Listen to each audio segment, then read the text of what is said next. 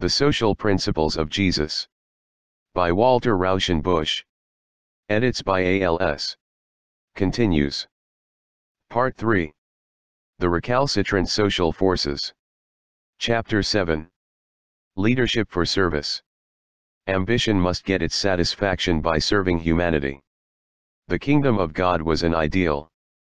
If it was to be turned into concrete realities, it would encounter the recalcitrant and stubborn instincts of human nature and the conservative forces of society. Where did Jesus locate the obstacles? At what points was he aware of resistance? Did he realize the force of ambition and the love of power? Did he gauge the pull of the property instinct? Did he feel religion as a help or a hindrance in realizing the kingdom of God? These questions we shall follow up in three lessons. Daily Readings First day, the trustee. And Peter said, Lord, speakest thou this parable unto us, or even unto all? And the Lord said, Who then is the faithful and wise steward, whom his Lord shall set over his household, to give them their portion of food in due season? Blessed is that servant, whom his Lord when he cometh shall find so doing. Of a truth I say unto you, that he will set him over all that he hath. But if that servant shall say in his heart, My Lord delayeth his coming, and shall begin to beat the men servants and the maidservants, and to eat and drink, and to be drunken, the Lord of that servant shall come in a day when he expecteth not, and in an hour when he knoweth not, and shall cut him asunder, and appoint his portion with the unfaithful. And that servant, who knew his Lord's will, and made not ready, nor did according to his will, shall be beaten with many stripes, but he that knew not, and did things worthy of stripes, shall be beaten with few stripes. And to whomsoever much is given, of him shall much be required, and to whom they commit much, of him will they ask the more. Luke 12, 41-48 The preceding verses, verses 35 to 40, dealt with the faithfulness of the rank and file, this parable deals with the responsibility of official position and sketches the alternative of selfish and serviceable leadership. The head steward had charge of a great estate, directing the labor of workmen and maids, dealing out supplies, and controlling the welfare and happiness of all. The absence of the master made his authority for the time absolute. Would he use it for the good of all? If so, wider scope and higher honor would come to him. Or would he become intoxicated with power, take things easy, boss his fellow servants around, and become a petty tyrant? If so, he would get what was coming to him. Every man's duty is measured by his knowledge and by his power. If, therefore, a man rises to leadership, and finds his elbow room enlarging, let him stiffen his sense of duty to correspond, or there will be trouble. Degeneration by power is written all over history. The functions of a head steward belong to the age of great landowners. How would you modernize this parable to express the same ideas? Second day, preparing for the use of power. Then was Jesus led up of the Spirit into the wilderness to be tempted of the devil. And when he had fasted forty days and forty nights, he afterward hungered. And the tempter came and said unto him, if thou art the Son of God, command that these stones become bread. But he answered and said, It is written, Man shall not live by bread alone, but by every word that proceedeth out of the mouth of God. Then the devil taketh him into the holy city, and he set him on the pinnacle of the temple, and saith unto him, If thou art the Son of God, cast thyself down, for it is written. He shall give his angels charge concerning thee, and on their hands they shall bear thee up. Lest haply thou dash thy foot against a stone. Jesus said unto him, Again it is written, Thou shalt not make trial of the Lord thy God. Again, the devil taketh him unto an exceeding high mountain, and showeth him all the kingdoms of the world, and the glory of them, and he said unto him, All these things will I give thee, if thou wilt fall down and worship me. Then saith Jesus unto him, Get thee hence, Satan, for it is written, Thou shalt worship the Lord thy God, and him only shalt thou serve. Matthew 4, 1-10 The baptism of Jesus was an act of dedication to the coming reign of God, and it brought him a deep spiritual experience. He came out of it with the sense of an immediate mission, of being called to a supreme leadership, and with the consciousness of power to correspond with his destiny. At once he confronted the question, how would he employ his messianic power? By what means would he obtain leadership? In the desert his mind was concentrated on these problems. This story displays the temptations of a leader, and sums up his settlement on three points. First, he realized that he must not swerve aside for personal gratification, but must serve the will of God only. Second, he must not debase his power by playing for popularity by means of spectacular, miraculous display. Third, he must not win his leadership by methods that would mortgage him to the prince of this world, for instance by the use of force. How would these points apply to a young man seeking political office, intellectual eminence, or artistic achievement? Third day, the new principle of leadership. Then came to him the mother of the sons of Zebedee with her sons, worshipping him, and asking a certain thing of him. And he said unto her, What wouldest thou? She saith unto him, Command that these my two sons may sit, one on thy right hand, and one on thy left hand, in thy kingdom. But Jesus answered and said, Ye know not what ye ask. Are ye able to drink the cup that I am about to drink? They say unto him, We are able. He saith unto them, My cup indeed ye shall drink, but to sit on my right hand, and on my left hand, is not mine to give, but it is for them for whom it hath been prepared of my Father. And when the ten heard it, they were moved with indignation concerning the two brethren. But Jesus called them unto him, and said, Ye know that the rulers of the Gentiles lord it over them, and their great ones exercise authority over them. Not so shall it be among you, but whosoever would become great among you shall be your minister, and whosoever would be first among you shall be your servant, even as the Son of Man came not to be ministered unto, but to minister, and to give his life a ransom for many. Matthew 20, 20 28. This passage is fundamental for our subject. It is the clearest formulation of the social principle involved in leadership. It contrasts two opposite types of leadership throughout human history. Salome and her sons thought Jesus was going to Jerusalem to inaugurate his kingdom. They asked for an advance pledge assuring them of the chief place. Jesus replied that that place would not go by favoritism. There is a price to be paid for leadership in his reign, and God alone will allot the final honors. He felt in their request a relapse into conceptions that he detested. In all political organizations he saw the tyrannical use of power over the people. There must be an end of that in the new social order. Ambition must seek its satisfaction by distinguished service, and only extra hazardous service shall win honor he himself proposed to be a leader of that new type, and to give his life as a ransom for the emancipation of the people. Fourth day, the history of a governing class. Here another parable, there was a man that was a householder, who planted a vineyard, and set a hedge about it, and digged a winepress in it, and built a tower, and let it out to husbandmen, and went into another country. And when the season of the fruits drew near, he sent his servants to the husbandman, to receive his fruits. And the husbandman took his servants, and beat one, and killed another, and stoned another. Again, he sent other servants more than the first, and they did unto them in like manner. But afterward he sent unto them his son, saying, They will reverence my son. But the husbandmen, when they saw the son, said among themselves, This is the heir, come, let us kill him, and take his inheritance. And they took him, and cast him forth out of the vineyard, and killed him. When therefore the Lord of the vineyard shall come, what will he do unto those husbandmen? They say unto him, He will miserably destroy those miserable men, and will let out the vineyard unto other husbandmen, who shall render him the fruits in their seasons. Jesus saith unto them, Did ye never read in the Scriptures? The stone which the builders rejected. The same was made the head of the corner. This was from the Lord. And it is marvelous in our eyes.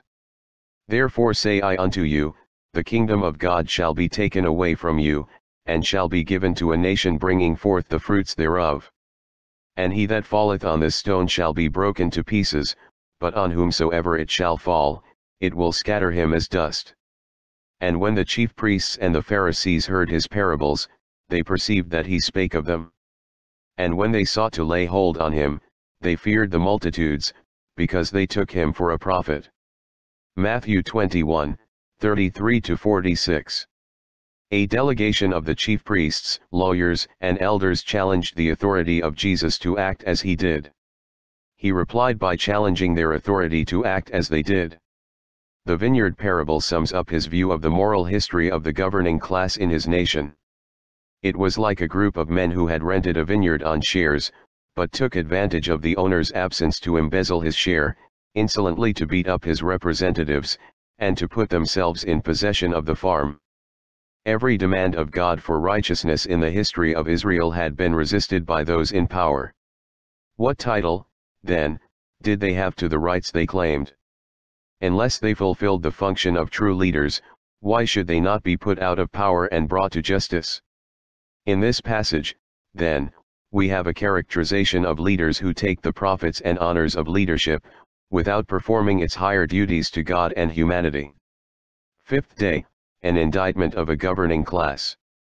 Then spake Jesus to the multitudes and to his disciples, saying, The scribes and the Pharisees sit on Moses' seat, all things therefore whatsoever they bid you, these do and observe, but do not yet after their works, for they say, and do not.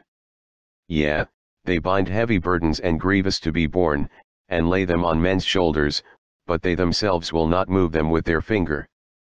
But all their works they do to be seen of men, for they make broad their phylacteries, and enlarge the borders of their garments, and love the chief place at feasts, and the chief seats in the synagogues, and the salutations in the marketplaces, and to be called of men, Rabbi.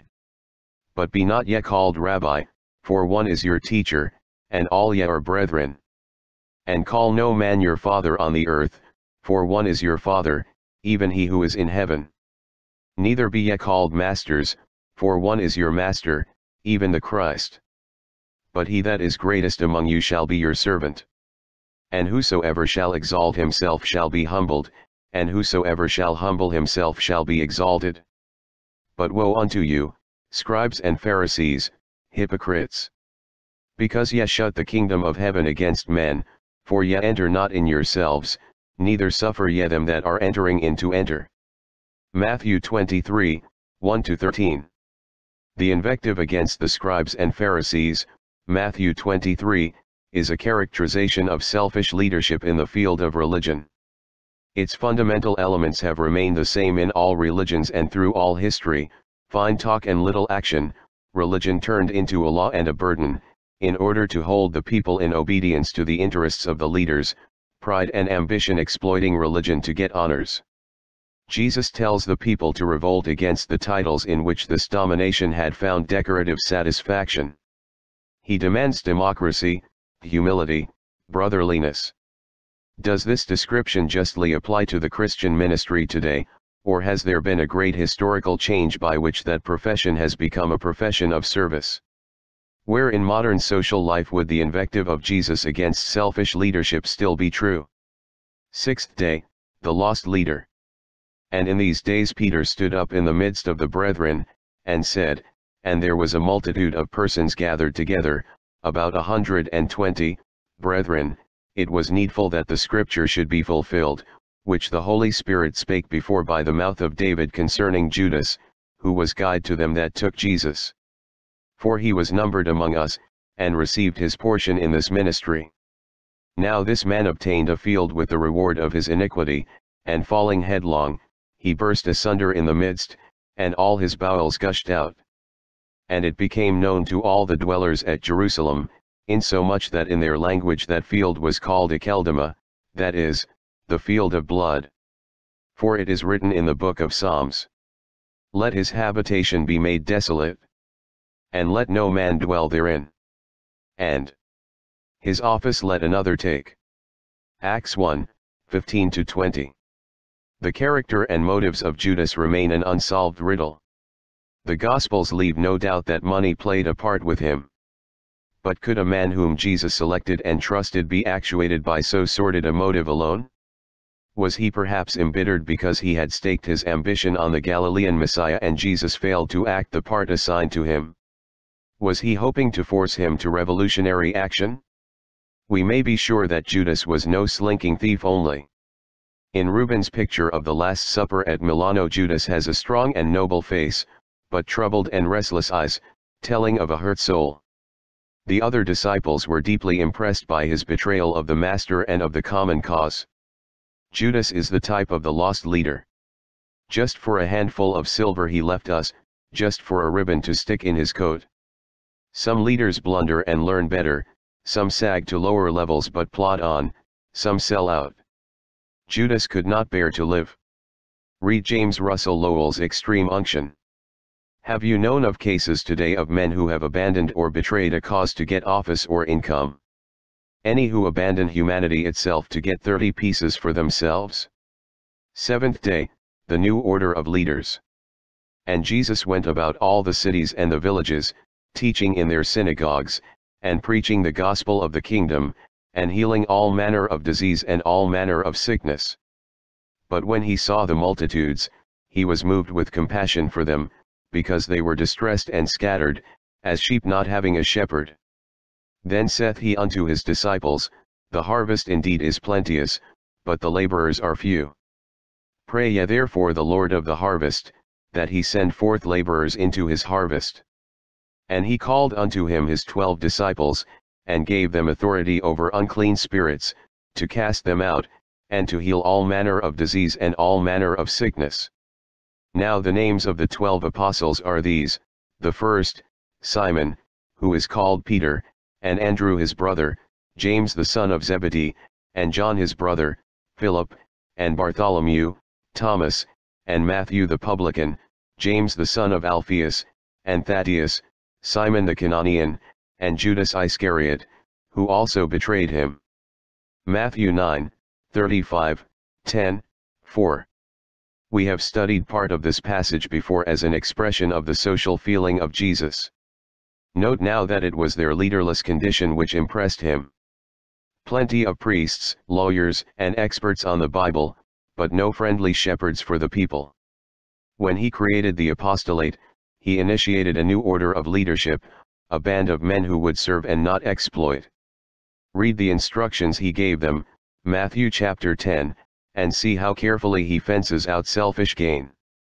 Service versus exploitation, that is one of the tests of all who claim leadership in his name. We realize that in the field of religion. But why should not the same test be made in professional, political, and business life? Predatory action may not be as glaringly shameful there, but is it any the more moral? Study for the week. 1. The desire to lead and excel is natural and right. Because men are gregarious, they need leadership for their social groups, and social progress depends largely on securing adequate leaders. Those who have the natural gifts for leadership and also those who merely think they have usually have a keen desire for its satisfactions.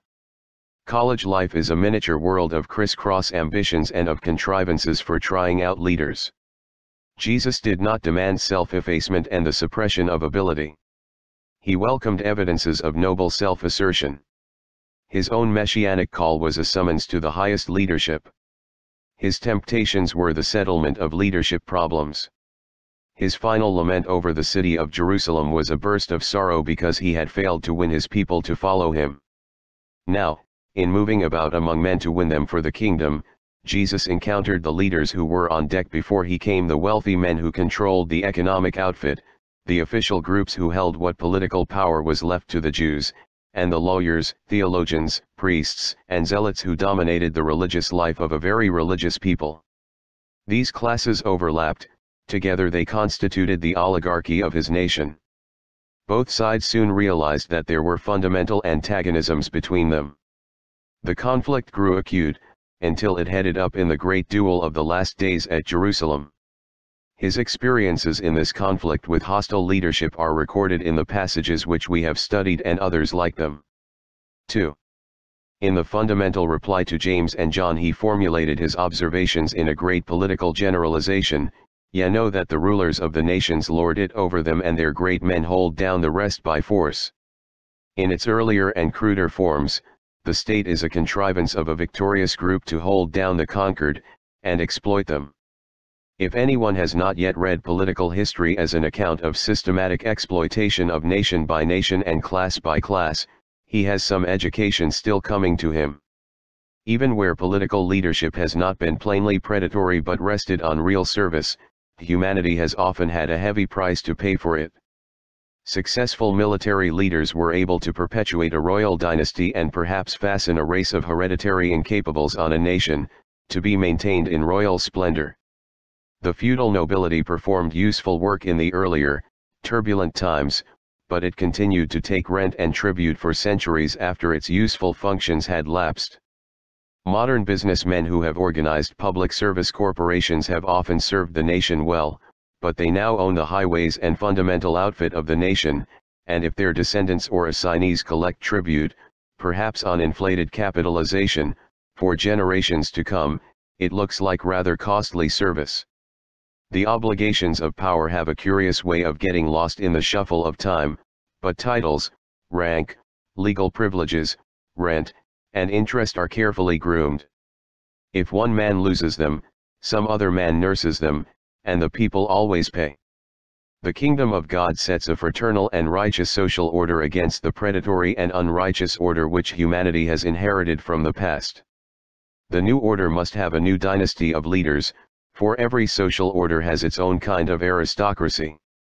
Jesus does not propose to abolish leadership, but he proposes a new basis for greatness which is sharply opposed to the old, whoever has ambition to be a great man among you, let him be your servant, and whoever is ambitious to rank first among you, let him be your bondservant. Just as the Son of Man did not come to have others serve him, but to render service and to give his life as a ransom for many. Ability and ambition are still to lead, but they are to be yoked to the service of all. Not he who kills and subjugates, but he who makes life safe and happy, shall have the statue set up in his honor. Not the great warrior and killer, but the great healer and the man who multiplies the blades of grass and the ears of wheat and the size of potatoes shall be the great names treasured. The higher the honor craved, the more strenuous must be the service, if a man wants first prize, he must get down to voluntary slavery. The old way to leadership was to knock others down and climb up on them, the new way is to get underneath and boost. 3. Jesus put himself under this law of leadership. We see from his words that the cross was the outcome of a consistent principle adopted by him. The rules he laid down for his apostolate were meant to bar out selfish acquisition, freely ye received, freely give. Get you no gold, nor silver, nor brass in your purses, no wallet for your journey, neither two coats, nor shoes, nor staff, for the laborer is worthy of his food. It is a significant fact that again and again religious leaders who really cared for the condition of the people, have tried to create a genuine leadership for them along the same lines. Francis of Assisi gathered his little brothers, Peter Waldos his Bible teachers, Wycliffe his poor preachers, John Wesley his local preachers and itinerants, William Booth his ensigns and captains with the big bass drum, and the entire foreign mission propaganda calls for leaders who will go to the people. And offers them nothing but enough to live in health. Today practically the entire Christian ministry, one of the most important bodies of men, has come under the law of leadership for service. It was once, at least in its upper class sections, rich with unearned incomes, pervaded by graft, and domineering in spirit, it is now a clean and plain living profession, whatever its shortcomings, graft and extortion are not of them. The question is now, whether other professions will go through the same historical process of cleansing. The religious spirit has pioneering qualities, under its impulse men blaze the trail which broad social movements or historical developments follow later. Greedy leadership first seemed intolerable in the church, after a time it may become intolerable in politics and business. The trend of civilization is toward intelligent service on plain pay. Educators, judges, scientists, doctors are on that basis now. It has become dishonorable for them to use their positions for a hold-up. The great discoverers in the line of serotherapy might have taken toll in golden streams, but they did not. It would have been contrary to the ethics of their profession. That means that their profession is on a Christian basis. Where graft is taken out of politics, officials become devoted public servants. The reproach has been made against a man of great ability that at the end of his life his name is not connected with any great cause or measure for the welfare of the people. Whether the judgment was just or not, that point of view is the one to take. Can business be brought under the law of service? Or is commerce constitutionally incapable of it? There are many indications that a conscious spiritual change is coming over those men in business who have enough intellect and character to look beyond immediate needs. The type of business leadership which took millions out of filthy factory towns, wore out women and took the youth out of children, cleared 12% from slum tenements, kept men and women from marriage by underpayment, and kept the cradle empty by high prices and fear of the future this type of leadership is antiquated. It belongs to a pre-Christian and pagan age. It is only a question whether business leaders will voluntarily turn their back on such misuse of power or have a change forced on them. Those who mark time on the old methods will become moral derelicts, and their wealth will not forever screen their moral obtuseness.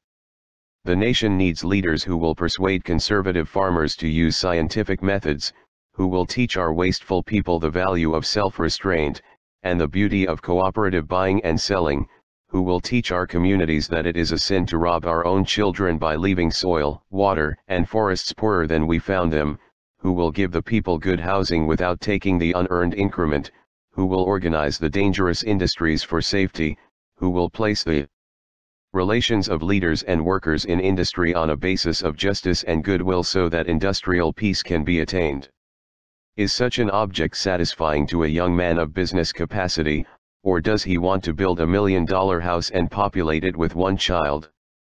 It is confessed that civilization has been succeeding on the technical side and failing on the ethical.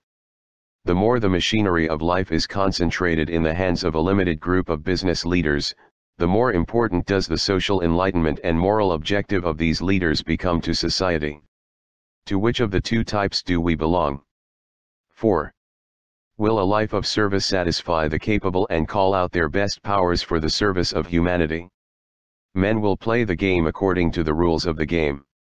If humanity changes the rules, its strong men will still let out their energies, because they cannot help it, and they will like themselves all the better for being on the side of their fellow men. There is no pleasure in being isolated, eyed with resentment, and conscious of hardness. If 10% net means long hours, low wages, and repression, and if 6% would mean goodwill and contentment, it might pay the leaders of industry to take less in dividends and take it out in the higher satisfactions. For men of great ability this is the chance for enduring fame. Who will remember the men that did nothing but amass wealth? Who of our presidents are remembered and loved? Those who suffered with and for the people. The leadership of service validates its rightness by its intellectual results. Predatory and parasitic classes become intellectually sterile and ignorant of real life. A man who wants to serve men, must get close to them. If we carry a load uphill, we have to choose our footing, and will perforce become intimately acquainted with the law of gravitation. Nothing develops the intellect like heading a just cause and fighting for it. Here, then, we have another social principle of Jesus. The ambition of the strong must be yoked to the service of society. Power and honor must be earned by distinguished and costly service. Progress along this direction marks the progress of the kingdom of God. Extortionate and domineering leadership must be superseded where the kingdom of God moves forward. 5. Does the life of our colleges and universities square with this principle? College men and women crave honor from their fellows, or their fraternities crave it for them vicariously. How do the big men in college win it? Do they win it by raising the standards of intellectual work for all? By making fun clean and honorable through the power of a clean public opinion? By creating a college spirit which will put manhood into every generation of freshmen that plunges into it? Or do they win honor by organizing parties, by intoxicating themselves and others with frothy social successes, by acting for the gallery to see and applaud, and by wasting the dynamics of youth on shooting rockets that look like stars and come down like sticks? Such men are essentially selfish, even their service is self-seeking and deserves no honor from others. The more talented and attractive they are, the more damage do they do. They perpetuate their kind. If fraternities or honorary societies honor and reward that sort of leadership, they force individuals into futility, and reinforce the natural temptation to shallow work and display by the powerful pressure of socialized public opinion. What has just been said applies to the inner life of the college group during its brief command over young men and women but meanwhile the outside life is waiting for them. Society creates and finances the colleges and universities from the social fund created by those who work. A college man who toys with his work and fights those who want to make him work, ought to be demoted and his chance given to some working man who has intellectual hunger and would use it. But even of the able and efficient college men society has a right to inquire whether it is training enemies and exploiters or friends and leaders. This question will be asked more and more insistently by democracy as it becomes intelligent. Christianity anticipates this inquiry by its appeal to the individual conscience. Every college man and woman should choose the principle on which he proposes to exercise leadership in case he wins it. Are we willing to gain wealth by impoverishing others? Are we willing to get pleasure by degrading others? Are we willing to gain power and freedom for ourselves by making others powerless and unfree? Jesus distinguishes three kinds of men who are interested in the sheep the robber, the hireling, and the shepherd. You can tell the presence of the robber by the death of the sheep, the hireling by his cowardice, the true leader by his valor and love. A special word should be said to college women. In her book on woman and labor, Olive Schreiner has pointed out that as families rise to wealth, the women slip into parasitism more readily than the men. They cease to do productive work, accept the luxuries of life as their right, and fall in with upper class pretensions. The means of leadership time, wealth, social resources are at their command. How will they use them? The number of women with unearned incomes is increasing rapidly in America. Now, if much is given them, much will be required. Can they produce enough social values to justify what they consume? The least we can do is to give as much as we get. Anything less is immoral. What kind of influence do college girls exert on able young men who turn toward them in love? Nothing will shrivel the idealistic conceptions of life in a young man as thoroughly as love for a selfish woman. The world is full of eyeless Samsons, grinding the money mills, and whipped to a quicker pace by smiling grafters who would not recognize this description of them if they saw it. Chapter 8 Private Property and the Common Good Private property must serve social welfare. A glance across history or a simple acquaintance with human life in any community will show us that private property is at the same time a necessary expression of personality and stimulator of character, and, on the other hand, a chief outlet and fortification of selfishness. Every reformatory effort must aim to conserve and spread the blessings of property, and every step toward a better social order will be pugnaciously blocked by its selfish beneficiaries. Daily Readings First Day, The Rival Interest. And he spake to them many things in parables, saying, Behold, the sower went forth to sow, and as he sowed, some seeds fell by the wayside, and the birds came and devoured them, and others fell upon the rocky places, where they had not much earth, and straightway they sprang up, because they had no deepness of earth, and when the sun was risen, they were scorched, and because they had no root, they withered away.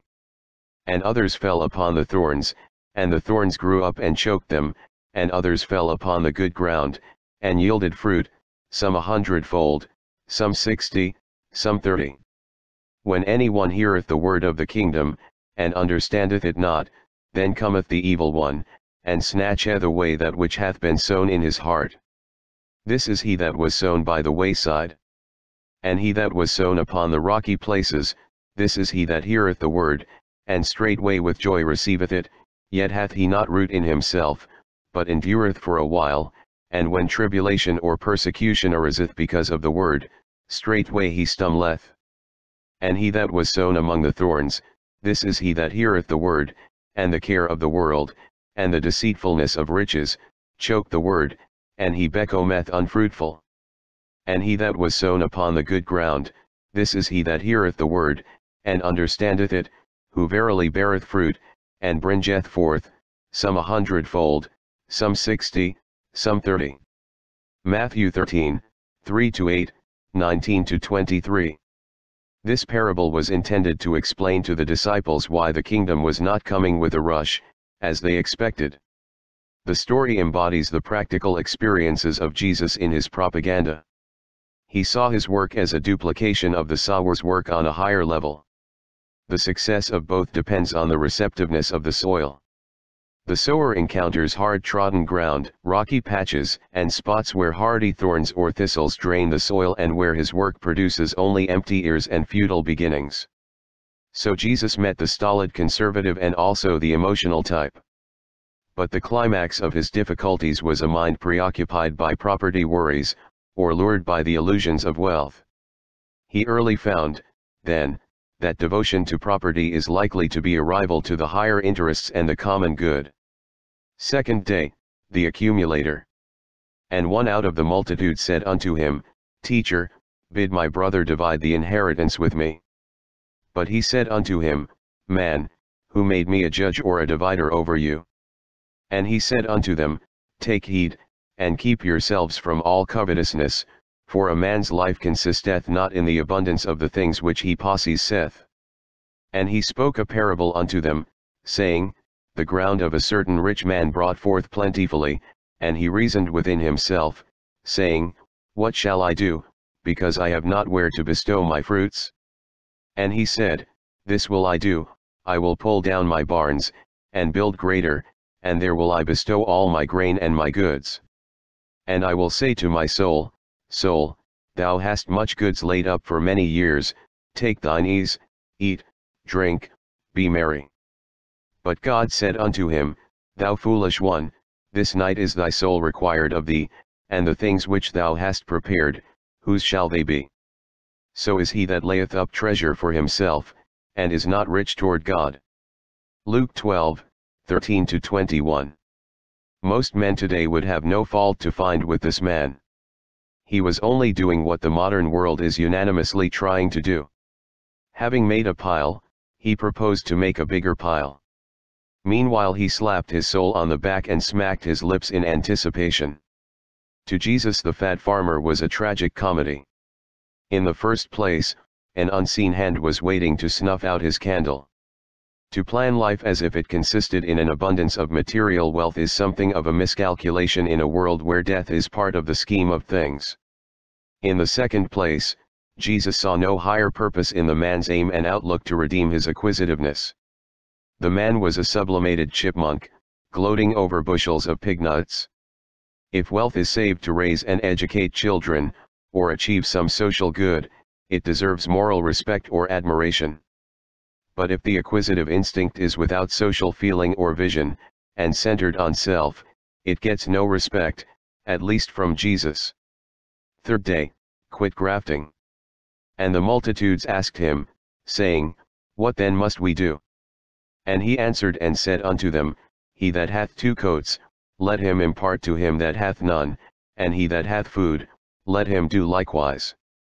And there came also publicans to be baptized, and they said unto him, Teacher, what must we do?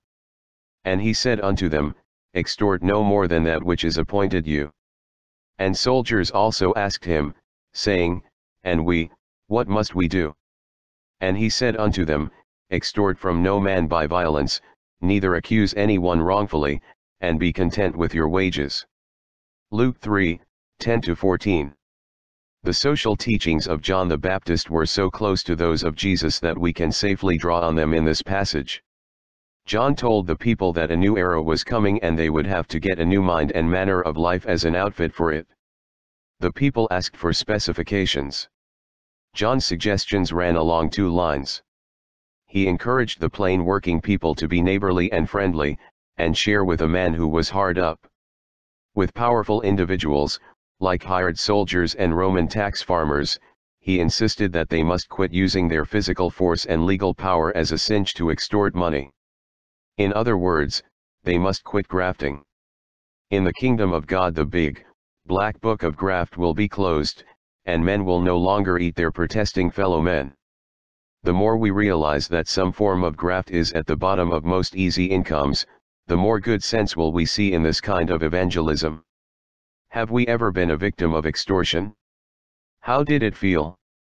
Did it sour the milk of human kindness in us? Fourth day, God versus Mammon. Lay not up for yourselves treasures upon the earth, where moth and rust consume, and where thieves break through and steal, but lay up for yourselves treasures in heaven, where neither moth nor rust doth consume, and where thieves do not break through nor steal, for where thy treasure is there will thy heart be also. The lamp of the body is the eye, if therefore thine eye be single, thy whole body shall be full of light. But if thine eye be evil, thy whole body shall be full of darkness. If therefore the light that is in thee be darkness, how great is the darkness? No man can serve two masters, for either he will hate the one, and love the other, or else he will hold to one, and despise the other. Ye cannot serve God and mammon. Matthew 6, 19 to 24. Acquisition may operate on different planes. A man may accumulate material stuff, or he may acquire spiritual faculties, memories, and relations. In a balanced life the two work side by side in peace, and each may aid the other. But the experience of all spiritual teachers shows that practically the acquisition of property often becomes a passion which absorbs the man and leaves little energy for the higher pursuits. Most men who have used up their life to acquire wealth look back with homesickness to some idealistic aspiration of their youth as to a lost Eden land. Jesus felt the antagonism of private wealth and the kingdom of God so keenly that he set God and mammon over against each other, and warned us that we must choose between them. Placed in this connection, the saying about the darkening of the inner light seems to refer to the influence of money getting on the higher vision of the soul. This entire passage is fundamental and will explain other sayings which follow. Fifth day, the divisive influence of riches. Now there was a certain rich man, and he was clothed in purple and fine linen, faring sumptuously every day, and a certain beggar named Lazarus was laid at his gate, full of sores, and desiring to be fed with the crumbs that fell from the rich man's table, yea, even the dogs came and licked his sores. And it came to pass, that the beggar died, and that he was carried away by the angels into Abraham's bosom, and the rich man also died, and was buried. And in Hades he lifted up his eyes, being in torments, and seeth Abraham afar off, and Lazarus in his bosom. And he cried and said, Father Abraham, have mercy on me, and send Lazarus, that he may dip the tip of his finger in water, and cool my tongue, for I am in anguish in this flame. But Abraham said, Son, remember that thou in thy lifetime receivedst thy good things, and Lazarus in like manner evil things, but now here he is comforted, and thou art in anguish. And besides all this, between us and you there is a great gulf fixed, that they that would pass from hence to you may not be able, and that none may cross over from thence to us. And he said, I pray thee therefore, Father, that thou wouldest send him to my father's house, for I have five brethren, that he may testify unto them, lest they also come into this place of torment. But Abraham saith, They have Moses and the prophets, let them hear them. And he said, Nay, Father Abraham, but if one go to them from the dead, they will repent. And he said unto him, If they hear not Moses and the prophets, neither will they be persuaded, if one rise from the dead. Luke 16, 19 to 31. Why does Jesus send the rich man to hell as if it were a matter of course? No crimes or vices are alleged. It must be that a life given over to sumptuous living and indifferent to the want and misery of a fellow man at the doorstep seemed to Jesus a deeply immoral and sinful life. Jesus exerted all his energies to bring men close together in love. But wealth divides. It creates semi-human relations between social classes, so that a small dole seems to be a full discharge of obligations toward the poor, and manly independence and virtue may be resented as offensive. The sting of this parable is in the reference to the five brothers who were still living as Dives had lived, and whom he was vainly trying to reach by wireless. See verse 14 in explanation. Sixth day, get a plank for the deluge. And he said also unto the disciples, There was a certain rich man, who had a steward, and the same was accused unto him that he was wasting his goods. And he called him, and said unto him, What is this that I hear of thee? Render the account of thy stewardship, for thou canst be no longer steward. And the steward said within himself, What shall I do, seeing that my Lord take the way the stewardship from me? I have not strength to dig, to beg I am ashamed. I am resolved what to do, that, when I am put out of the stewardship, they may receive me into their houses. And calling to him each one of his Lord's debtors, he said to the first, how much owest thou unto my lord? And he said, A hundred measures of oil. And he said unto him, Take thy bond, and sit down quickly and write fifty. Then said he to another, And how much owest thou? And he said, A hundred measures of wheat. He saith unto him, Take thy bond, and write fourscore. And his Lord commended the unrighteous steward because he had done wisely, for the sons of this world are for their own generation wiser than the sons of the light. And I say unto you, make to yourselves friends by means of the mammon of unrighteousness, that, when it shall fail, they may receive you into the eternal tabernacles. Luke 16, 1-9 This is one of the wittiest stories in the Bible and must be read with some sense of humor. The tenant farmers of a great estate paid their rent in shares of the produce. This elastic system offered the steward a chance to make something on the side. He was found out and discharged, but while he was closing up his accounts he still had a short spell of authority.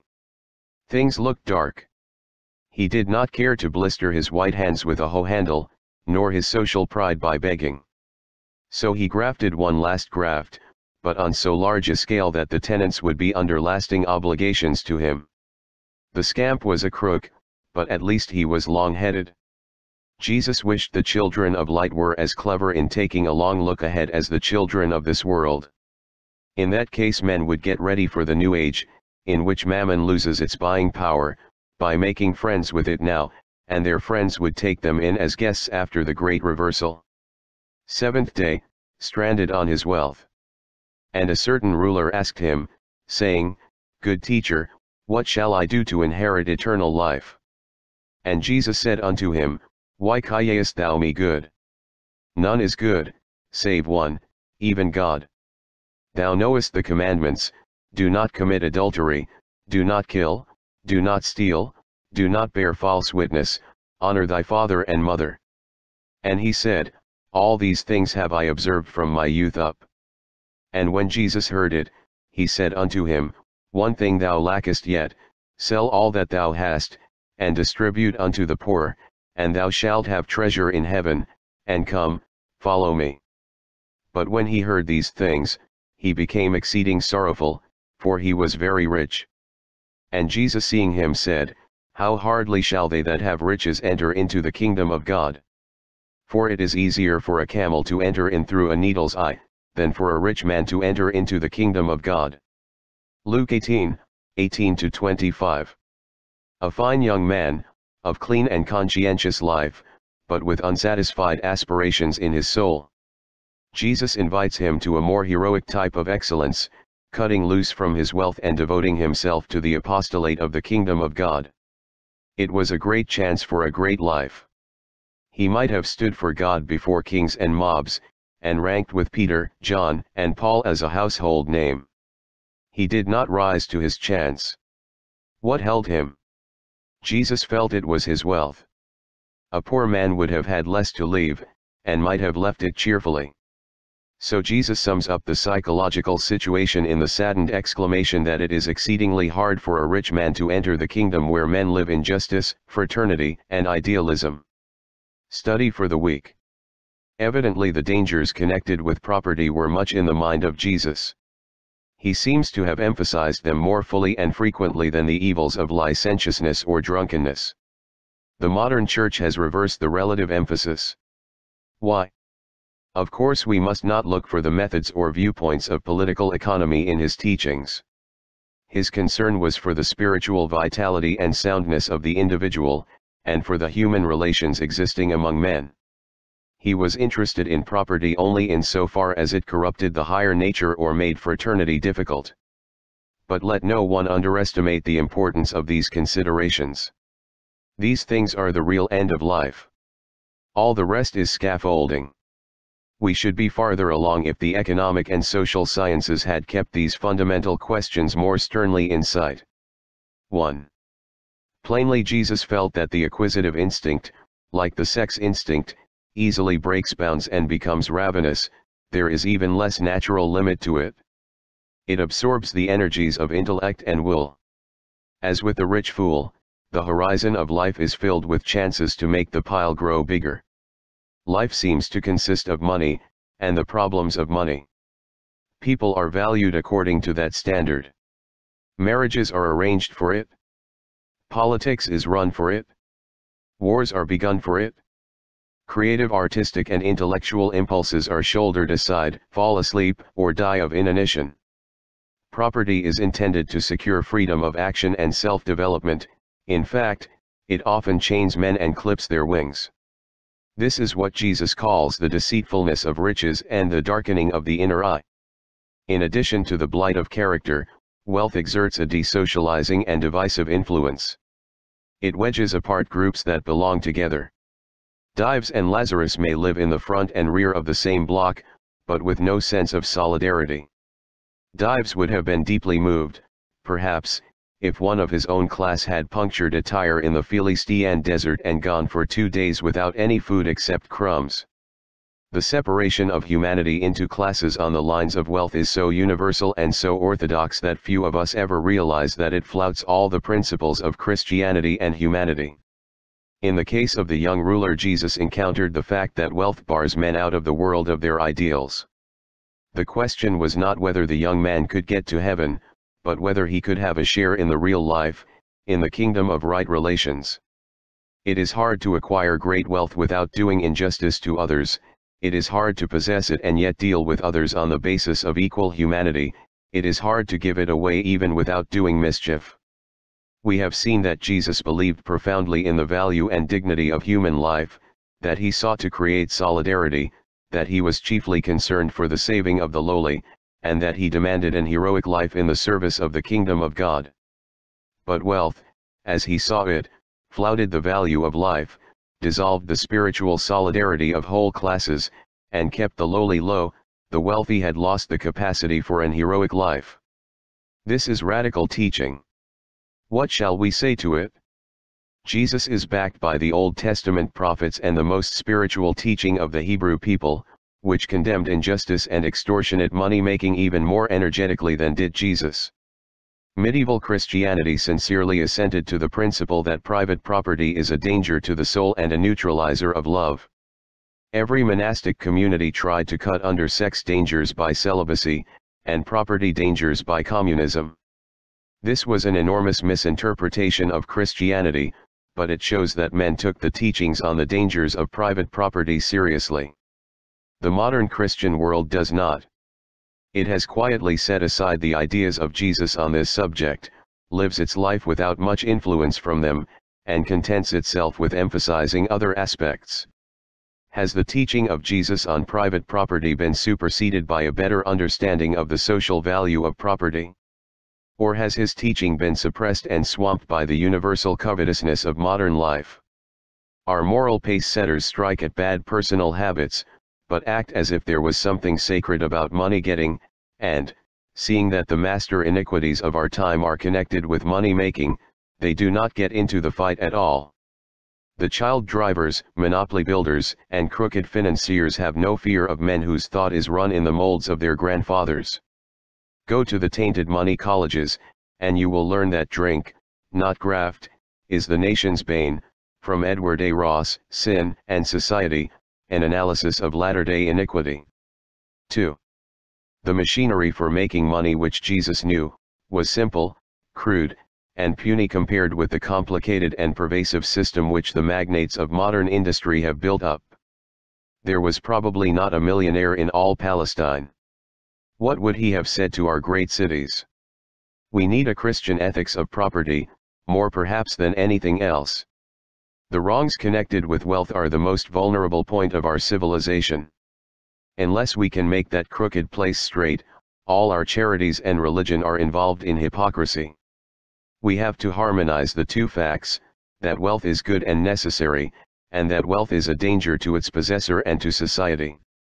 On the one hand property is indispensable to personal freedom, to all higher individuality, and to self-realization, the right to property is a corollary of the right to life, without property men are at the mercy of nature and in bondage to those who have property. On the other hand property is used as a means of collecting tribute and private taxes, as a club with which to extort unearned gain from laborers and consumers, and as the fundamental tool of oppression. Where do we draw the line? Is it true that property created by productive labor is a great moralizer, and that property acquired without productive labor is the great demoralizer? Is it correct that property for use is on the whole good, and property for power is a menace? What is the relation between property and self-development? At what point does property become excessive? At what point does food become excessive and poisonous? At what point does fertilizer begin to kill a plant?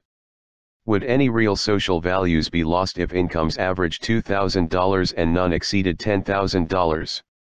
To what extent does a moral purpose take the dangers out of acquisition? Is any life moral in which the natural capacities are not sincerely taxed to do productive work? If a man's wealth is destined to cut his descendants off from productive labor, is it a blessing? What is the moral difference between strenuous occupation and labor? How large a proportion of our time and energy can be devoted to play and leisure without softening our moral fiber? At what points does private property come to be antisocial? If we could eliminate the monopoly elements and the capacity to levy tribute, would there be much danger in the remainder? Does private property, in the enormous aggregations of today and in control of the essential outfit of society, still correspond to the essential theoretical conception of private property, or have public properties and public functions fallen under private control. Much that we are accustomed to hear called legitimate insistence upon the rights of property, the Old Testament would seem to call the robbery of God, and grinding the faces of the poor, the Bishop of Oxford. 3. The religious spirit will always have to call the individual farther than the law can compel him to go. After all unjust and tainted portions have been eliminated from our property, religion lays its hands on the rest and says, You are only a steward over this. In the parables of the talents, the pounds, and the unjust steward, Jesus argues on the assumption that our resources are a trust, and not absolute property. We manage and control them, but always under responsibility. We hold them from God, and His will has eminent domain but the will of God is identical with the good of mankind.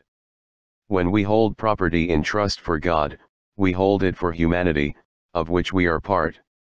We misuse the trust if by it we deprive others of health, freedom, joy, hope, or efficiency, for instance, by overworking others and underworking our own children. Chapter 9 The Social Test of Religion Religion must be socially efficient.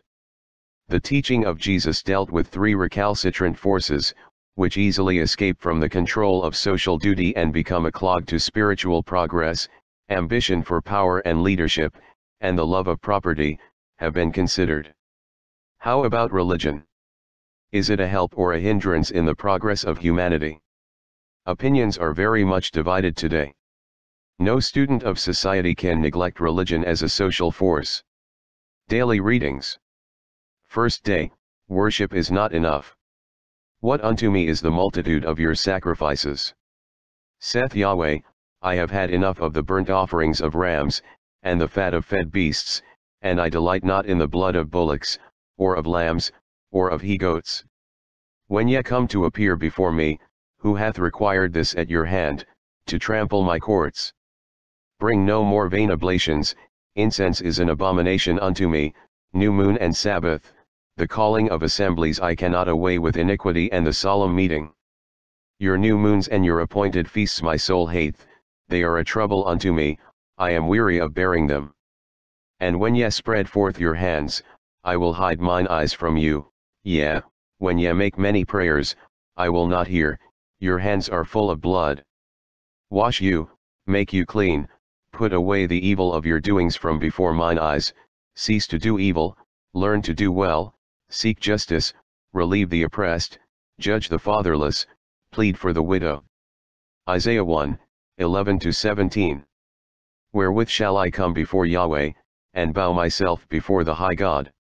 Shall I come before him with burnt offerings, with calves a year old? Will Yahweh be pleased with thousands of rams, or with ten thousands of rivers of oil? Shall I give my firstborn for my transgression, the fruit of my body for the sin of my soul? He hath showed thee, O man, what is good, and what doth Yahweh require of thee, but to do justly, and to love kindness, and to walk humbly with thy God. Micah 6, 6-8 These two passages are classical expressions of a note which runs through all the prophetic teaching of the Old Testament. There was a fundamental antagonism between those who saw the service of God in the inherited ritual and sacrificial action, and those who felt that the essential service of God is righteousness of life. The prophets wanted a religion that would change social conduct, and repudiated religious doings that had no ethical value. They held that worship alone is not enough. God wants life and conduct. Second day, the test of social value. And it came to pass, that he was going on the Sabbath day through the grain fields, and his disciples began, as they went, to pluck the ears. And the Pharisees said unto him, Behold, why do they on the Sabbath day that which is not lawful? And he said unto them, Did ye never read what David did, when he had need, and was hungry, he, and they that were with him? How he entered into the house of God when Abiathar was high priest, and ate the showbread, which it is not lawful to eat save for the priests, and gave also to them that were with him. And he said unto them, The Sabbath was made for man, and not man for the Sabbath, so that the Son of Man is Lord even of the Sabbath. And he entered again into the synagogue, and there was a man there who had his hand withered. And they watched him, whether he would heal him on the Sabbath day, that they might accuse him. And he saith unto the man that had his hand withered, Stand forth. And he saith unto them, Is it lawful on the Sabbath day to do good, or to do harm? to save a life, or to kill. But they held their peace. And when he had looked round about on them with anger, being grieved at the hardening of their heart, he saith unto the man, Stretch forth thy hand. And he stretched it forth, and his hand was restored. Mark 2, 23, 3, 5. The Mosaic law intended the Sabbath to be a haven of rest for all who were driven, the slave, the immigrant, even the cattle. It was a precious institution of social protection. But the strict religionists of Jesus' time had made a yoke of tyranny of it, so that hungry men could not rub the kernels from ears of grain without being charged with threshing, and Jesus could not heal a poor paralytic without getting black looks. A fine institution of social welfare and relief had been turned into an anti-social regulation. Jesus fell back on the fundamental maxim of the prophets, I desire kindness and not sacrifice, and laid down the principle that the Sabbath was made for man, and not man for the Sabbath. The religious institution of the Sabbath must have social value, this is the essential test even in religion. Is the Sabbath more useful to society now than in Puritan times? From which do we suffer more today, from excessive strictness or excessive looseness in Sabbath observance? How is the social value of the rest day frustrated for the working class? Third day, natural duty above artificial. And the Pharisees and the scribes ask him, Why walk not thy disciples according to the tradition of the elders, but eat their bread with defiled hands? And he said unto them, Well did Isaiah prophesy of you hypocrites, as it is written. This people honoreth me with their lips. But their heart is far from me but in vain do they worship me. Teaching as their doctrines the precepts of men. Ye leave the commandment of God, and hold fast the tradition of men. And he said unto them, full well do ye reject the commandment of God, that ye may keep your tradition. For Moses said, Honor thy father and thy mother, and, He that speaketh evil of father or mother, let him die the death, but ye say, eh, If a man shall say to his father or his mother, That wherewith thou mightest have been profited by me is Korban, that is to say, given to God, ye no longer suffer him to do aught for his father or his mother, making void the word of God by your tradition, which ye have delivered, and many such like things ye do Mark 7, 5-13. Contemporary Jewish religion was full of taboos, defilements, and purifications.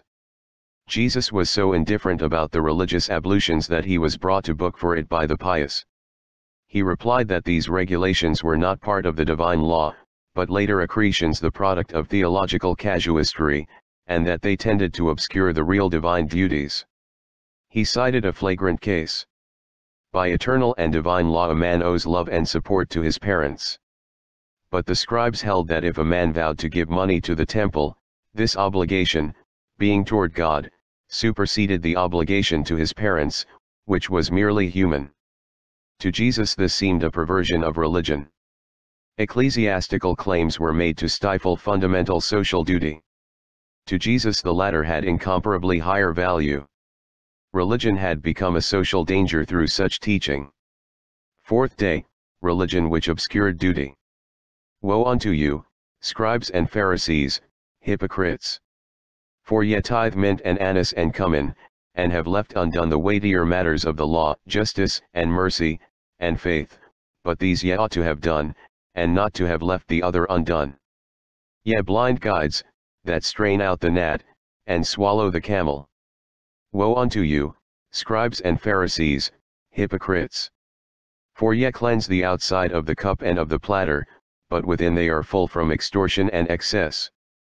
Thou blind Pharisee, cleanse first the inside of the cup and of the platter, that the outside thereof may become clean also. Matthew 23, 23 to 26. Woe unto you, scribes and Pharisees, hypocrites! For ye compass sea and land to make one proselyte, and when he is become so, ye make him twofold more a son of hell than yourselves. Matthew 23, 15. The great invective of Jesus against the scribes and Pharisees in Matthew 23 deals wholly with the perversions of religion. In these verses he emphasizes the fact that the solemn importance attached to external minutiae turned the attention of men from the really fundamental spiritual duties, such as justice, mercy, and good faith.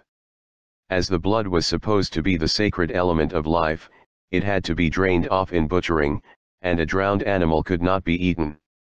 Jesus wittily describes the Pharisee filtering out drowned gnats from the drinking water, but bolting some camel of a sin without blinking.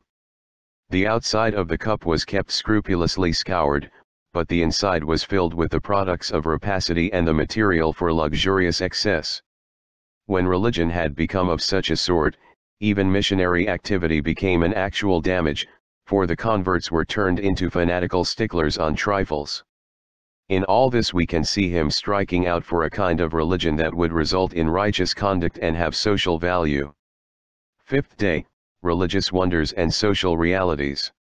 And the Pharisees and Sadducees came, and trying him asked him to show them a sign from heaven.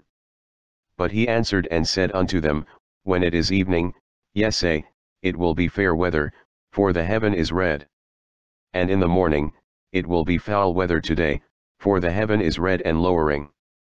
Ye know how to discern the face of the heaven, but ye cannot discern the signs of the times an evil and adulterous generation seeketh after a sign, and there shall no sign be given unto it, but the sign of Jonah.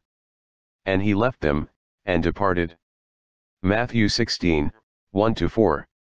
This demand for a miracle pursued Jesus all through his teaching activity. He settled with it on principle in his desert temptation, he would not leap from the pinnacles of the temple, or do anything to turn his work into a holy circus but the demand followed him to his death, If thou art the Son of God, come down from the cross. A good, stunning miracle seemed a short cut to faith, the most convincing way of furnishing proof of his divine mission. Also, it would be mighty interesting. But he never catered to the demand. His power was only for the relief of suffering. He tried to keep his acts of healing private. In this passage he advised his opponents to use their intellect in more useful directions than stargazing for signs from heaven. They were weatherwise. Let them read the signs of the times. Storms were brewing on the horizon. Forty years later Titus destroyed Jerusalem and broke the back of the Jewish nation. The prophetic mind of Jesus saw it coming, Luke 19, 41 And when he was come near, he beheld the city, and wept over it, 42 saying, If thou hadst known, even thou, at least in this thy day, the things which belong unto thy peace, but now they are hid from thine eyes. 43 For the days shall come upon thee, that thine enemies shall cast a trench about thee, and compass thee round, and keep thee in on every side, 44 And shall lay thee even with the ground, and thy children within thee, and they shall not leave in thee one stone upon another, because thou knewest not the time of thy visitation. If they had accepted his teaching of peace instead of getting intoxicated by the visions of revolutionary apocalypticism, the doom might have been averted. He was trying to bring their feet to the ground, turn their mind to realities, and make their religion socially efficient. Would the sight of a miracle have effected a moral change in a Pharisee? How would religion be affected, if miraculous demonstrations could be furnished at will? Sixth day, when religion separates men. And as Jesus passed by from thence, he saw a man, called Matthew, sitting at the place of toll, and he saith unto him, Follow me. And he arose, and followed him.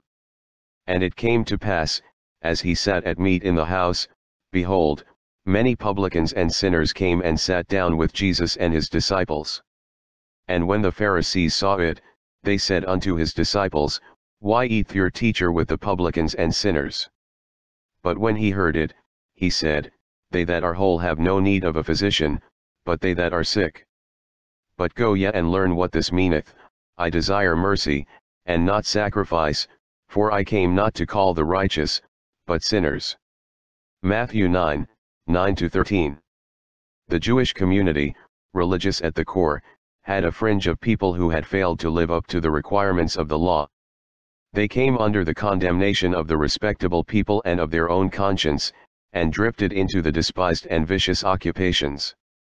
These were the publicans and sinners, the publicans and harlots, to whom the Gospels refer. A socially efficient religion would have prompted the good people to establish loving and saving contact with these people. Actually religion so accentuated the social divergence that the Pharisees were shocked when Jesus mingled in a friendly way with this class and even added one of them to his traveling companions.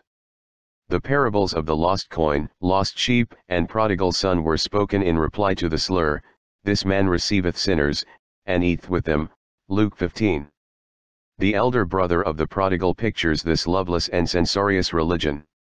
Jesus crossed the line of demarcation and established social contact and friendliness, through which salvation could come to these religious derelicts.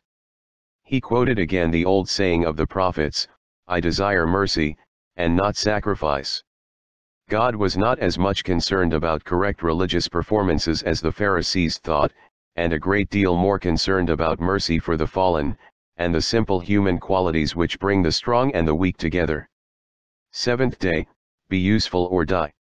And he spake this parable, A certain man had a fig tree planted in his vineyard, and he came seeking fruit thereon, and found none. And he said unto the vine dresser, Behold, these three years I come seeking fruit on this fig tree, and find none, cut it down, why doth it also cumber the ground? And he answering saith unto him, Lord, let it alone this year also, till I shall dig about it, and dung it, and if it bear fruit thenceforth, well, but if not, thou shalt cut it down. Luke 13, 6-9 Jesus evidently had some interest in scientific agriculture. Both the owner and the vine dresser in this parable were out for agricultural efficiency.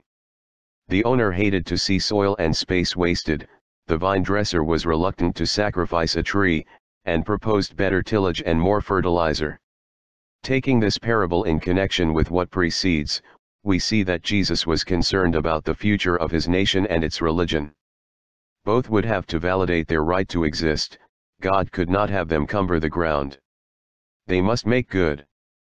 This is the stern urge of the God whom we know in history and evolution, with the voice of Christ pleading for patience. But it is agreed between them that ultimately the law of fitness must rule. Religion cannot bank on claims of antiquity alone. Every generation must find it newly efficient to create the social virtues then needed. Remember that this was spoken by a Jewish patriot and the supreme exponent of the Hebrew religion. Study for the week. Jesus Christ was the founder of the highest religion, he was himself the purest religious spirit known to us. Why, then, was he in opposition to religion? The clash between him and the representatives of organized religion was not occasional or superficial. It ran through his whole activity, was one of the dominant notes in his teaching, culminated in the great spiritual duel between him and the Jewish hierarchy in the last days at Jerusalem, and led directly to his crucifixion. 1. The opposition of Jesus was not, of course, against religion itself, but against religion as he found it. It was not directed against any departure from the legitimate order of the priesthood, nor against an improper ritual or wrong doctrine of sacrifices. In fact, it did not turn on any of the issues which were of such importance to the Church in later times. He criticized the most earnest religious men of his day because their religion harmed men instead of helping them. It was unsocial, or antisocial. The Old Testament prophets also were in opposition to the priestly system of their time because it used up the religious interest of the people in ceremonial performances without ethical outcome. It diverted spiritual energy, by substituting lower religious requirements for the one fundamental thing which God required righteousness in social and political life. They insisted over and over that Yahweh wants righteousness and wants nothing else. Their aim was to make religion and ethics one and inseparable. They struck for the social efficiency of religion.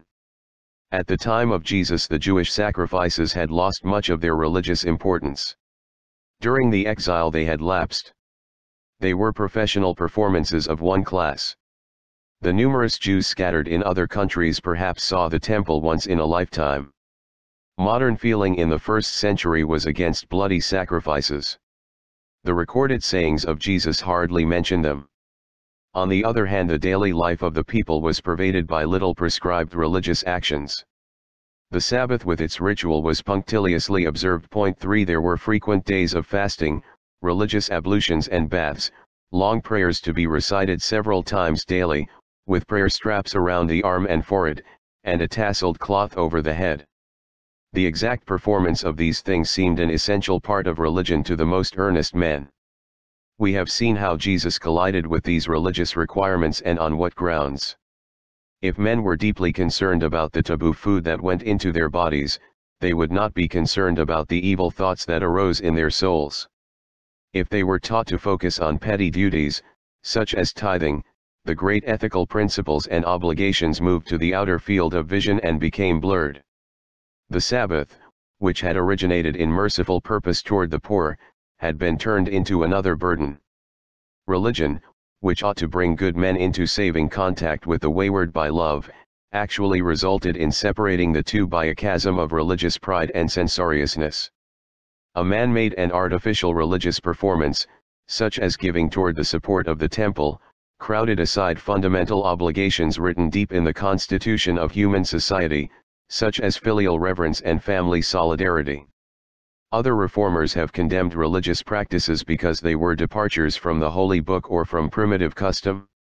Jesus, too, pointed out that some of these regulations were recent innovations but the real standard by which he judged current religious questions was not ancient authority but the present good of men.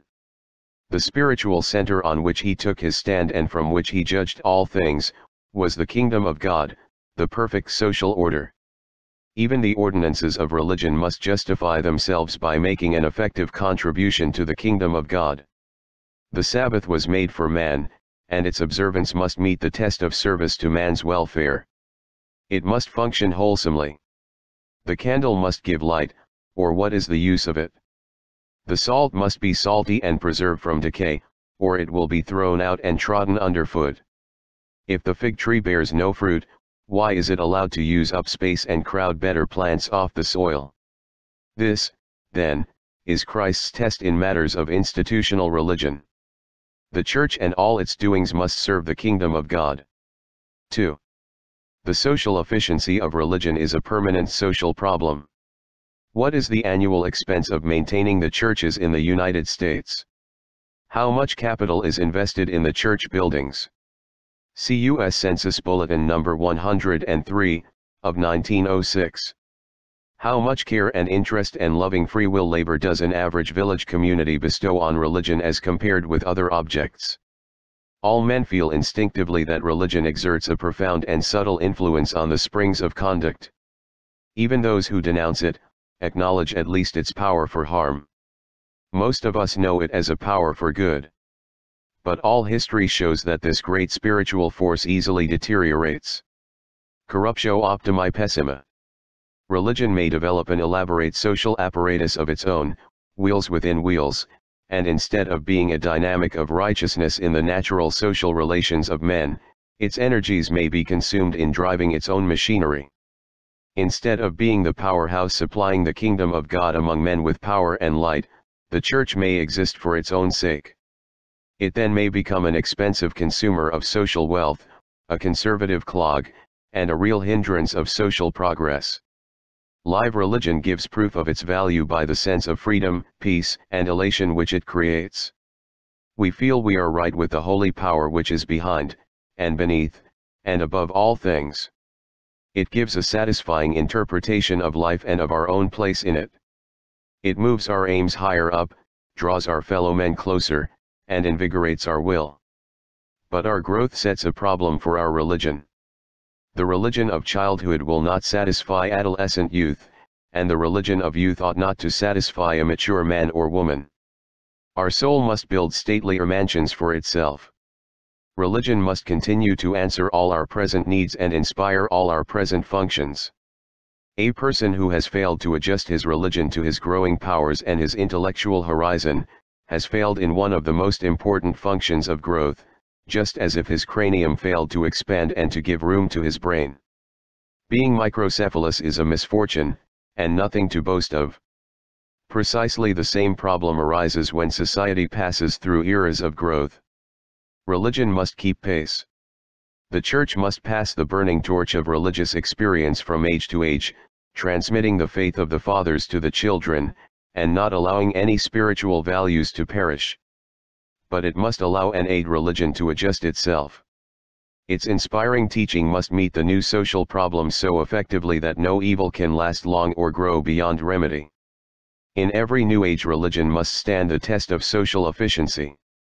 Is it passing that test in Western civilization? Religion is a bond of social coherence. It creates loyalty but it may teach loyalty to antiquated observances or a dwarfed system of truth. Have you ever seen believers rallying around a lost cause in religion? Yet these relics were once a live issue, and full of thrilling religious vitality. Society changes.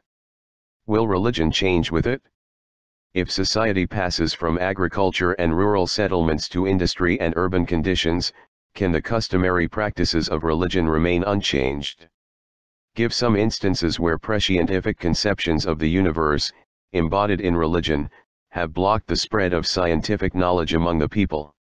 The caste distinctions of Hinduism were the product of a combination between religion and the social organization of the people, can they last when industrialism and democracy are pervading India? The clerical attitude of authority was natural when the Catholic clergy were the only educated class in the community, is it justified today? Protestantism won the allegiance of industrial communities when the young business class was struggling to emancipate itself from the feudal system. It developed an individualistic philosophy of ethics. Today society tends toward solidaristic organization. How will that affect religion and its scheme of duty? Thus religion, by its very virtues of loyalty and reverence, may fall behind and lose its full social efficiency. It must be geared to the big live issues of today if it is to manifest its full saving energies. How does this problem of the efficiency of religion bear on the foreign missionary movement? How will backward or stationary civilizations be affected by the introduction of a modern and enthusiastic religion? We may feel the defects of our church life at home, but there is no doubt that the young men and women who go out from our colleges under religious impulses, are felt as a virile and modernizing force when they settle to their work in Turkey or Persia. Christian educational institutions and medical missions have raised the intellectual and humane standards of young China. Buddhism in Japan has felt the challenge of competition and is readjusting its ethics and philosophy to connect with modern social ideals. The historical effects of our religious colonization will not mature for several generations, but they are bound to be very great. The nations and races are drawing together. They need a monotheistic religion as a spiritual basis for their sense of human unity. This is a big, modern, social task. It makes its claim on men and women who have youth, education, and spiritual power. Is the religious life of our colleges and universities efficient enough to meet the need? Here are the enormous tasks of international relations, which the Great War has forced us to realize the prevention of armed conflicts, the elimination of the irritant causes of war, the protection of the small nations which possess what the big nations covet, the freedom of the seas as the common highway of God, fair and free interchange in commerce without any effort to set up monopoly rights and the privilege of extortionate gain, the creation of an institutional basis for a great family of nations in days to come. These are some of the tasks which the men and women who are now young must take on their mind and conscience for life, and leave to their children to finish. What contributions, in your opinion, could the spirit of the Christian religion make to such a program, if it were realized intelligently and pressed home through the agencies of the Christian Church. In what ways has American religion shown its efficiency since the war broke out? Christianity has been a great power in our country to cleanse and fraternize the social life of simple communities. Can it meet the complex needs of modern industrialism in the same way? It cannot truthfully be claimed that it has done so in any industrial country. Its immense spiritual forces might be the decisive element, but they have been effectively organized against a few only of the great modern evils. On the fundamental ethical questions of capitalism the Church has not yet made up its own mind not to speak of enforcing the mind of Christ. Nor have the specialists in the universities and colleges supplied the leaders of the Church with clear information and guidance on these questions. We cannot make much permanent progress toward a just social order as long as the masses of the working people in the industrial nations continue in economic poverty and political helplessness, and as long as a minority controls the land, the tools, and the political power. We shall linger on the borders of the inferno until a new accession of moral insight and spiritual power comes to the nations. How will it come? 3. What could the churches in an average village community accomplish if they intelligently directed the power of religion to foster the sense of fraternal unity and to promote the institutions which make for unity? How could they draw the new, the strange, and the irregular families into the circle of neighborly feeling? In what way could they help to assimilate immigrants and to prevent the formation of several communities in the same section, overlapping, alien, and perhaps hostile? How would it affect the recreational situation if the churches took a constructive rather than a prohibitive attitude toward amusements, and if they promoted the sociability of the community rather than that of church groups? With the rise of land prices and the control of transportation and markets, the rural population is moving toward a social crisis like that which transformed the urban population in the Industrial Revolution. Agriculture will become capitalistic, and the weaker families will drop to the position of tenants and agricultural laborers. Cooperation is their way of salvation. Its effectiveness has been amply demonstrated in older countries. It requires a strong sense of solidarity, loyalty, and good faith to succeed. It has made so little headway in America because our national character has not been developed in these directions. What could the churches do to save the weaker families from social submergence by backing cooperation and developing the moral qualities needed for it? The strong religious life of our people might be more effective if the churches were less divided. Their economic and human resources are partly wasted by useless competition. Our denominational divisions are nearly all an historical heritage, imported from Europe, and coming down from a controversial age. Their issues all meant something vital and socially important in the midst of the social order of that day, but in many cases the real significance has quietly crumbled away, and they are not really the same issues that deeply engaged our forefathers. We are all tithing mint, anise, and cumin, and forgetting the weighty matters, such as social justice and Christian fraternity. Everybody is ready to acknowledge this about every denomination except his own. We need a revaluation of our religious issues from the point of view of the kingdom of God. That would bring us into harmony with the judgment of Jesus. Nothing else will. 4. The social efficiency of religion What call is there in that to the college men and women of this generation? Shall they cease to worship and pray, seek the salvation of society in ethics and sociology, and abandon religion to stagnation? Or shall they seek a new experience of religion in full sight of the modern world, and work by faith toward that reign of God in which His will shall be done?